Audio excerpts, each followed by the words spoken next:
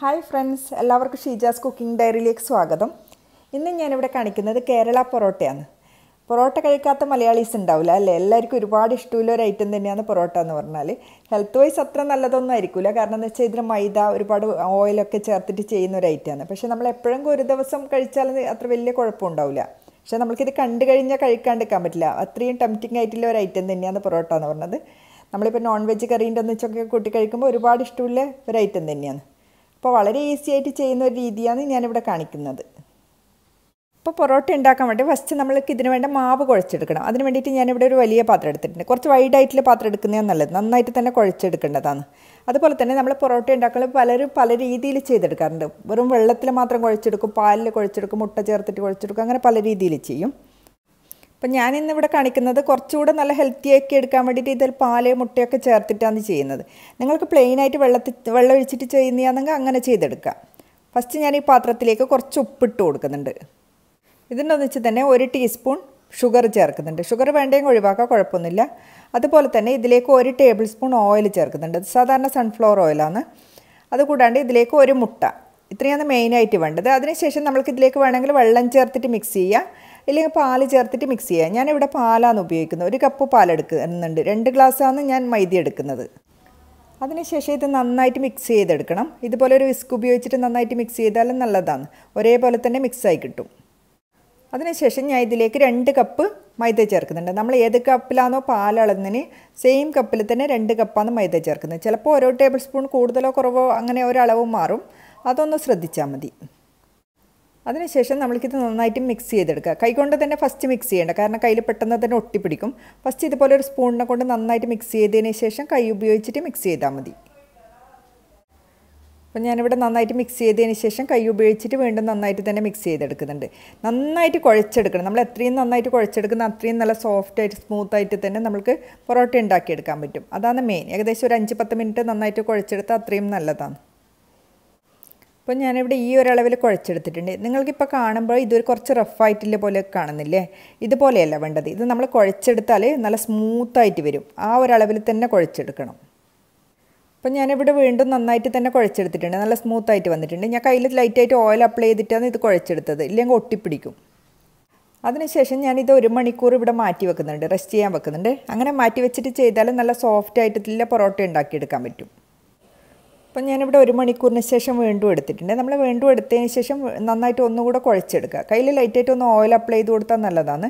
ഇല്ലെങ്കിൽ കയ്യിൽ ഒട്ടിപ്പിടിക്കുക നമ്മൾ റെസ്റ്റ് ചെയ്യാൻ വെച്ചിട്ട് എടുക്കുന്നില്ലേ അപ്പോൾ അത് കുറച്ചുകൂടെ ലൂസായിട്ടില്ല പോലെ ഉണ്ടാവുക.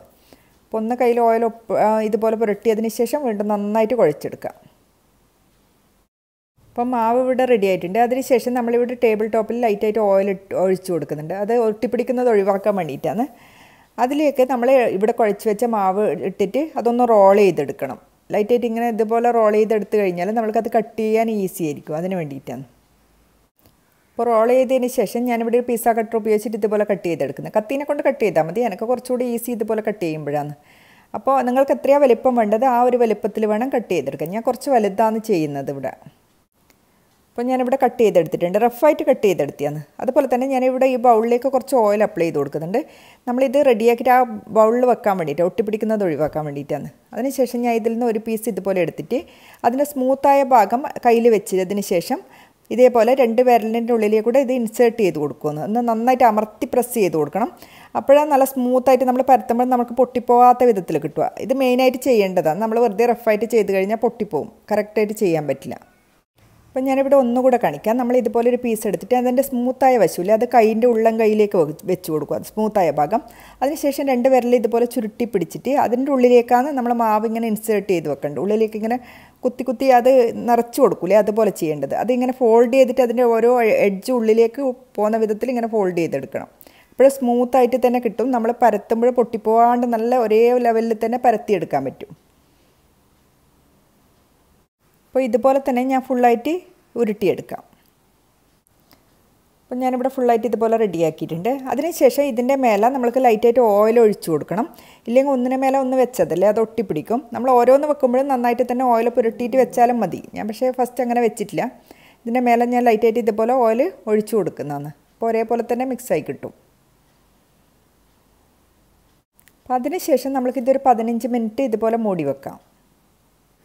അപ്പോൾ ഇത് ഏകദേശം പതിനഞ്ച് മിനിറ്റ് ആയിട്ടുണ്ട്. അതിനുശേഷം ഞാൻ ഇത് ഓരോന്ന് എടുത്തിട്ട് വീണ്ടും പരത്തി എടുക്കുന്നുണ്ട് ഒരുപാട് വലിപ്പത്തിലല്ല ജസ്റ്റ് ഒന്ന് ലൈറ്റായിട്ട് ഒന്ന് ഫ്ലാറ്റ് ആക്കി കൊടുക്കുന്നത് അതിന് മുമ്പേ തന്നെ കൗണ്ടർ ടോപ്പിൽ ഒന്ന് ഓയിൽ അപ്ലൈ ചെയ്ത് കൊടുക്കണം. ഇല്ലെങ്കിൽ ഒട്ടിപ്പിടിക്കും. അപ്പോൾ ഞാനിവിടെ ഫുള്ളായിട്ട് ഇതുപോലെ പരത്തിയെടുത്തിട്ടുണ്ട്. ഒരുപാട് വലിപ്പത്തിലൊന്നല്ല ഏകദേശം ഒരു ചെറിയ ചപ്പാത്തീന്റെ വലിപ്പത്തിലാണ് പരത്തിയെടുത്തിട്ടുള്ളത്. അതിനുശേഷം ഞാൻ വീണ്ടും ഒരു പത്ത് മിനിറ്റ് ഇത് മാറ്റി വെക്കുന്നുണ്ട്. നമ്മൾ ഓരോ പ്രാവശ്യം ഇങ്ങനെ പത്ത് മിനിറ്റ് പതിനഞ്ച് മിനിറ്റ് മാറ്റി വെച്ച് കഴിഞ്ഞാൽ അത് നമുക്ക് സ്മൂത്തായിട്ട് നമുക്ക് പരത്തിയെടുക്കാൻ പറ്റും. ഇല്ലെങ്കിൽ നമ്മൾ പരത്തുന്നതിന് കണക്കായിട്ട് അത് ചുരുങ്ങി ചുരുങ്ങി വരും. അപ്പോൾ ഞാനിതൊരു പത്ത് മിനിറ്റിന് ശേഷം വീണ്ടും എടുത്തിട്ടുണ്ട്. ഞാൻ കൗണ്ടർ ടോപ്പിൽ ഓയിൽ അപ്ലൈ ചെയ്ത് കൊടുത്തതിന് ശേഷമാണ് ഒന്നെടുത്തിട്ട് അത് ഇങ്ങനെ പരത്തിയെടുക്കുന്നത്. നമ്മൾ പരത്തിയെടുക്കുന്നതിന് മുമ്പേ തന്നെ അതിന്റെ മേലെയും കുറച്ച് ഓയിൽ ഒഴിച്ചു കൊടുക്കണം. ഓയിൽ കുറച്ച് കൂടുതൽ തന്നെ വേണം. നമ്മൾ പൊറോട്ടയ്ക്ക് പൊതുവേ അറിയാമല്ലോ ഓയിൽ കുറച്ച് കൂടുതൽ ചേർത്താലാണ് നല്ലത്. അതിനുശേഷം ഇതുപോലെ കൈവച്ചിട്ട് തന്നെ ഫ്ലാറ്റ് ആക്കി കൊടുത്താൽ മതി. നല്ല ഈസി ആയിട്ട് ചെയ്യാൻ പറ്റും. നമ്മൾ എല്ലാ അത് സെയിം മെത്തേഡെല്ലാം ഫോളോ ചെയ്ത് കഴിഞ്ഞാൽ നല്ല ഫ്ലാറ്റായിട്ട് തന്നെ ചെയ്തെടുക്കാൻ പറ്റുന്ന കാര്യമാണ്.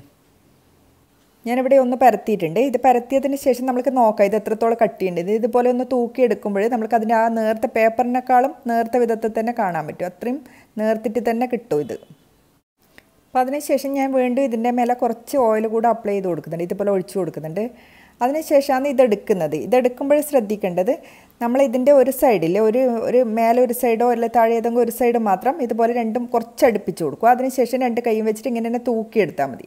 അപ്പോൾ പൊട്ടിപ്പോകാത്ത വിധത്തിൽ തന്നെ കിട്ടും. കണ്ടോ? ഇതുപോലെ തന്നെ നല്ല കറക്റ്റായിട്ട് കിട്ടും. അതിനുശേഷം ലൈറ്റായിട്ട് ഒന്നിങ്ങനെ വലിച്ചു കൊടുത്താൽ മതി. വീണ്ടും ഇത് നല്ല നേർത്ത വിധത്തിലായി കിട്ടും. പെട്ടെന്നൊന്നും പൊട്ടിപ്പോകില്ല പക്ഷേ നമ്മൾ ഒരുപാട് പ്രഷർ കൊടുത്തിട്ട് അങ്ങനെ വലിക്കാൻ പാടില്ല. അപ്പോൾ അതിനുശേഷം ഇതിന്റെ ഒരു സൈഡ് എടുത്തിട്ട് നമ്മൾ കയ്യിൽ ഇതുപോലെ വെച്ചിട്ട് ഒന്ന് ലൈറ്റായിട്ട് ഇങ്ങനെ റൗണ്ടാക്കി എടുക്കുക. റൗണ്ടാക്കി എടുത്തിട്ട് അതിന്റെ ബാക്കി ഭാഗവും അതേപോലെ തന്നെ ആ ഒരു സൈഡിൽ ഇങ്ങനെ ഒട്ടി ഒട്ടിയിട്ട് വരുന്ന വിധത്തിൽ തന്നെ ചുറ്റിച്ചെടുക്കണം. റൗണ്ടായിട്ട് തന്നെ എടുക്കാൻ ശ്രദ്ധിക്കുക. ഒരേപോലെ തന്നെ എടുക്കാൻ ശ്രദ്ധിക്കണം. നല്ല കറക്റ്റായിട്ട് തന്നെ ചെയ്തെടുക്കാൻ പറ്റും. അതിന് ബുദ്ധിമുട്ടൊന്നുമില്ല കാര്യമല്ല. അതിനുശേഷം അതിന്റെ ലാസ്റ്റ് എഡ്ജില്ലേ അതിന്റെ അത് താഴെ ഭാഗത്തേക്ക് അമർത്തി കൊടുത്താൽ മതി. താഴത്തെ ഈ ഭാഗം അങ്ങനെ അമർത്തി വെച്ചാൽ മതി. അപ്പോൾ അതിനുശേഷം ഒന്ന് ലൈറ്റായിട്ട് കയ്യിൽ വെച്ചിട്ട് ഒന്ന് ഫ്ലാറ്റ് ആക്കി കൊടുത്താൽ മതി. ഇതൊന്ന് റെഡി ആയിട്ടുണ്ട്. അതുപോലെ തന്നെ ബാക്കി ഫുള്ളായിട്ട് ചെയ്തെടുക്കാം.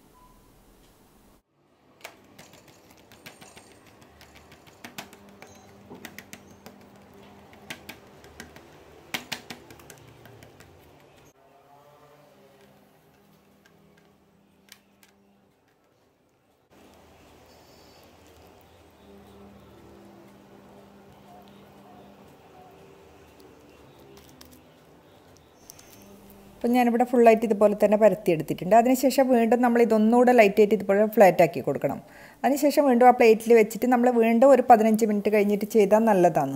പെട്ടെന്ന് ചെയ്യുന്നുണ്ടെങ്കിൽ ചെയ്യാം. പക്ഷേ പതിനഞ്ച് മിനിറ്റ് കഴിഞ്ഞിട്ട് നമ്മൾ വീണ്ടും പരത്തുമ്പോൾ നല്ല കറക്റ്റായിട്ട് ഫ്ലാറ്റായിട്ട് തന്നെ കിട്ടും.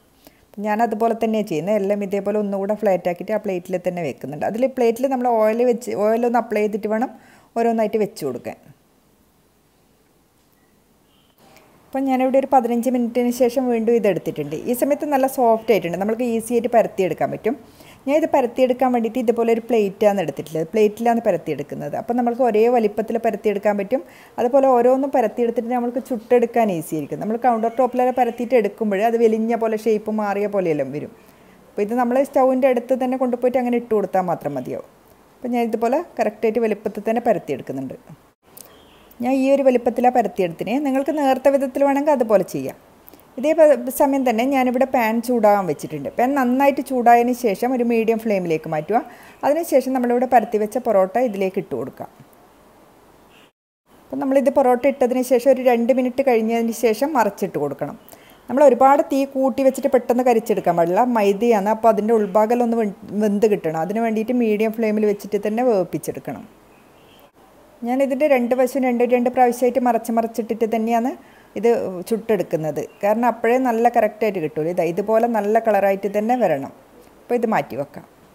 അപ്പോൾ ഇതുപോലെ തന്നെ ബാക്കി ഫുള്ളായിട്ട് നമുക്ക് ചുട്ടെടുക്കാം. ചുട്ടെടുക്കുമ്പോൾ ശ്രദ്ധിക്കേണ്ടത് കുറച്ച് ടൈം എടുത്തിട്ട് തന്നെ രണ്ട് വശവും മാറി മാറി മറിച്ച് മറിച്ചിട്ടിട്ട് തന്നെ ചുട്ടെടുക്കണം.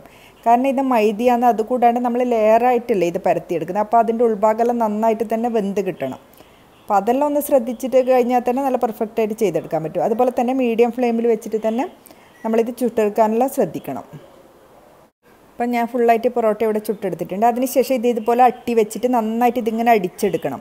അപ്പോഴാണ് നല്ല സോഫ്റ്റ് ആയിട്ട് കിട്ടുക. ഇതാ മെയിൻ ആയിട്ടുള്ള കാര്യമാണ് അത് നമ്മൾ മറക്കാണ്ട് ചെയ്താലേ ഇത് ഓരോ ലെയറായിട്ട് ഇങ്ങനെ വിട്ട് വരുമല്ലോ.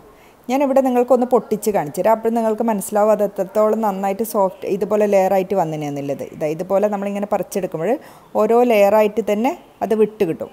അതാണ് അത് പെർഫെക്റ്റായിട്ട് കിട്ടുന്നതെന്ന് മനസ്സിലാകുന്നത് അപ്പോൾ ഇത്രയേ ഉള്ളൂ. വളരെ ഈസി ആയിട്ട് ചെയ്യാൻ പറ്റുന്ന ഒരു കേരള പൊറോട്ടയാണ്. നിങ്ങൾ ട്രൈ ചെയ്ത് നോക്ക്. നിങ്ങൾക്ക് എല്ലാവർക്കും നല്ല ഈസി ആയിട്ട് തോന്നും. അതുപോലെ തന്നെ നല്ല ടേസ്റ്റിയാണ് നമ്മളിത് പാൽ മുട്ട എല്ലാം ചേർത്തിട്ട് ചെയ്യുന്നില്ലേ നല്ല സോഫ്റ്റാണ് നല്ല ടേസ്റ്റിയാണ് അപ്പോൾ എല്ലാവരും ട്രൈ ചെയ്ത് നോക്കുക. താങ്ക്